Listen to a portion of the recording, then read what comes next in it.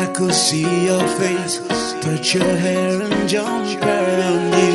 Wish that I could kiss your feet, lay and sleep before you. It is you that I'm talking. It is you